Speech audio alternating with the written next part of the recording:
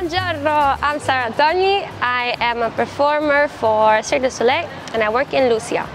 My favorite type of coffee is cappuccino.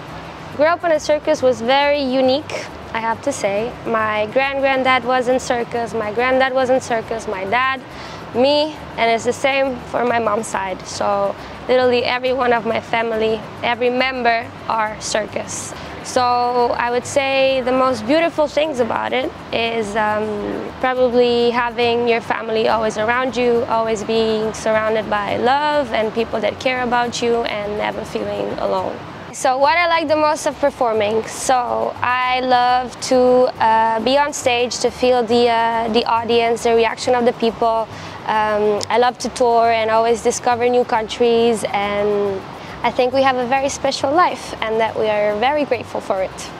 I have never thought about doing something else. I went to see my first Cirque du Soleil show when I was 10 years old and I decided that I wanted to be on that stage one day. And here I am. Uh, how do I keep my energy hype? Um, there's nothing specific that I do, but I always feel like when I go on stage, I have to give 100%. There's no way that I can give less. And as soon as I get on stage and I feel the public, I, I get excited and adrenaline hits me and the energy is there.